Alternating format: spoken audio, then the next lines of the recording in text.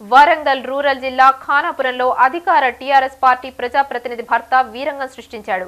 అధికార పార్టీకి చెందిన నాయకుడు సర్పంచ్ భర్త సబ్స్టేషన్ పై దాడి చేసి ఫర్నిచర్ ధ్వంసం చేసిన ఘటన ఆలస్యంగా వెలుగులోకి వచ్చింది. మంగళవారిపేటలో సబ్స్టేషన్ పై దాడి చేసి సిబ్బంది పట్ల దురుసుగా ప్రవర్తించాడు.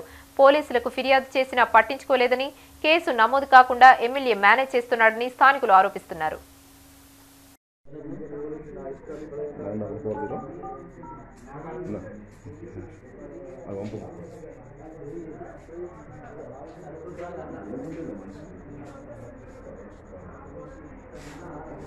నెంబర్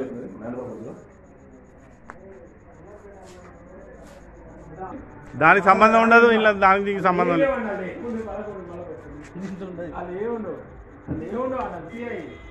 కరెంట్ ఇప్పుడు వాళ్ళు ఇత్తా అంటారు నువ్వు ఎందుకు తొందరపడతావు ఇస్తా అంటారు. ఏడి ఫోన్ ఎత్తాడు ఏ ఫోన్ ఎత్తారు ల్యాండ్ మ్యాన్ ఫోన్ చేస్తే ఆయన ఫోన్ ఎత్తాడు. ఎవడా బిల్లులు కట్టేది ఇక్కడ? ఏం మాట్లాడినావు? ఆ? మాట్లాడు.